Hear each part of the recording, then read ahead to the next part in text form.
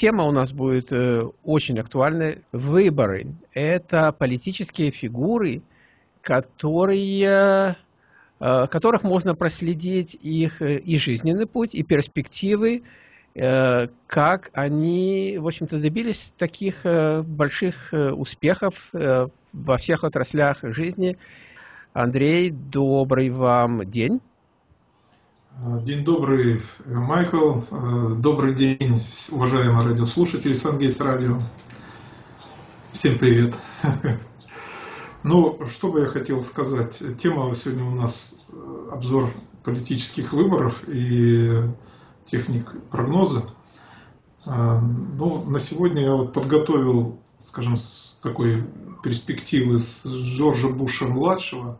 Этот мой метод, он был, кстати, опубликован 4 года назад в Соединенных Штатах Америки в одном астрологическом бюллетене. И э, как раз перед выборами Барака Обамы я прислал месяца за два. Но они Вы, испугались. Простите, имеете в виду перед первым сроком его президентства, Нет, да? 12 год, который был. 12 год, то есть это да. второй срок президентства. А, ну, а мы начнем наш анализ, это с э, Джордж Буш-младший, то есть это то, что было по сути старшего. дела, уже шест... Э, старшего, да, вы сказали? Можно старшего, да. Можно старшего. Ну, тогда это еще раньше, потому что младший был, в общем-то, 16 лет тому назад. Он, так сказать... 89-й год. Власти, да. А, а это, да, а Джордж Буш старший, э, да, был, э, значит, значительно до того, ну, между ними был еще и, в общем-то, Клинтон, да? А, имеется в виду Билл Клинтон. Да. Да, да. Теперь вот его супруга, так сказать, метит на это место. Ну, мы об этом поговорим. Вообще-то тема, дорогие друзья, э, достаточно обширная и достаточно серьезная, чтобы провести такой анализ, тем более, что я лично знаю, Андрей очень и очень детальный и очень и очень фундаментальный человек, поэтому он подходит к этому вопросу очень серьезно, э, со всей, так сказать, ответственностью, поэтому это будет очень детально. Мы просто даже не успеем физически в, э, рамках одной программы это все осветить, поэтому я думаю, что мы в следующий раз продолжим, тем более, что всех будет будет интересовать, естественно, э, сам по себе прогноз, но это, так сказать, попозже. А, ну, давайте мы начнем тогда с э, Джорджа Буш-старший, которому, кстати, э, по-моему, уже 91 или 92 года. Ну, Он ознаменовал свой какой-то юбилей прыжком с парашюта. В общем-то, что было так достаточно необычно, сами понимаете. Дедушка прыгает с парашютом там в таком возрасте, но тем не менее тут все, так сказать, это пиар, сами понимаете. Да, ну поехали, давайте слово вам. А, благодарю, Майкл. А, ну, во-первых, Джордж Буш старший родился 12 апреля 1924 года в 10.30 Милтон, Массачусетс, США. А, самые главные показатели, вот один из показателей, который просто даже без прогноза, скажем, глядя на натальную карту, лица, которые занимали руководящие посты, они имели в натальной карте хорошие аспекты Солнца и Юпитера. Ну, в большинстве случаев, не во всех, но в подавляющем большинстве такое присутствие было.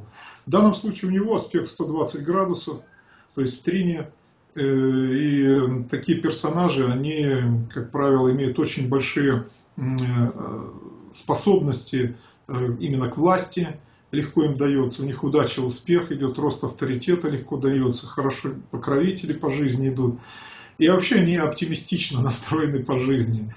Ну, чтобы вы понимали, э, таких вот периодов, когда благоприятные в году, таких очень сильных, это где-то 5-7 э, таких периодов. То есть это не так часто, э, то есть это не каждый день рождаются люди, вот, которые, ну скажем так, по судьбе могут управлять коллективами, либо там такими крупными образованиями, как государство, в данном случае Соединенные Штаты Америки.